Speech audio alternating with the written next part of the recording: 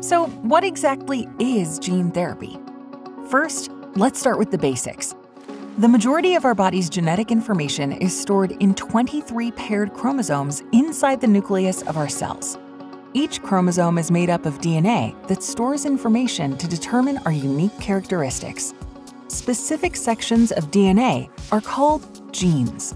As far as we know, humans have between 20,000 and 25,000 genes. Usually, a person has two copies of each gene, one copy passed along from each biological parent. Genes provide the instructions on how to make proteins. Proteins play an important role in how our body functions.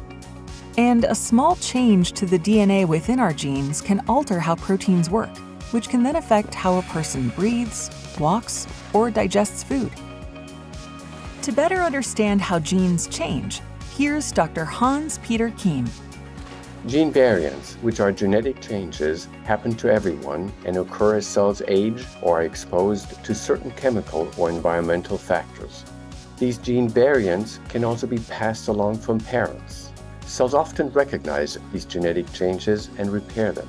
Other times, they can cause a disease or disorder, and treatment is needed. That's where gene therapy aims to help, by addressing the underlying cause of disease.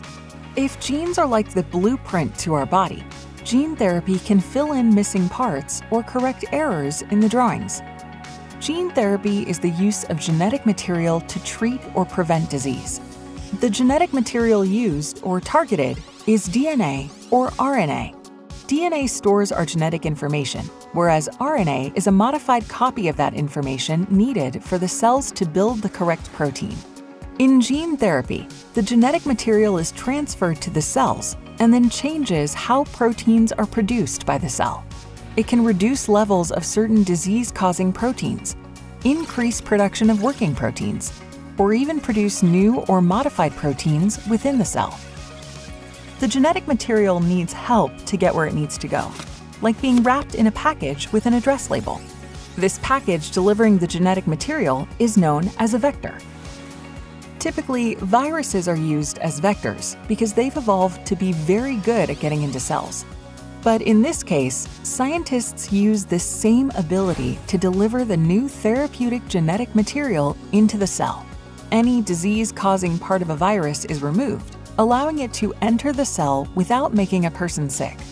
All vectors are tested many times for safety prior to being used in humans. There are two main ways to give gene therapy, in vivo and ex vivo. In vivo gene therapy means the gene is delivered directly into the person, such as through an injection.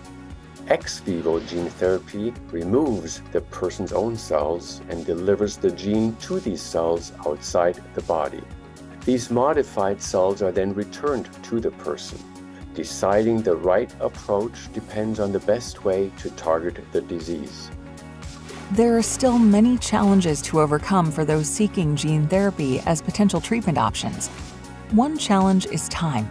It's a lengthy process to test potential treatments in clinical trials and then undergo the FDA approval process.